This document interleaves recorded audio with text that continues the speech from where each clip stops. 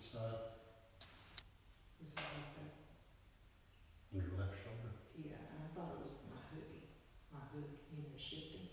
All right.